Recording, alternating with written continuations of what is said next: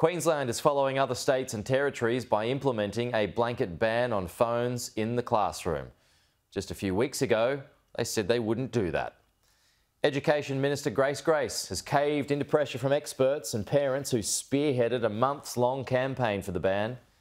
As Grace says, the new rules will be in effect from 2024, following consultation with other education ministers on a national approach for phone use in schools.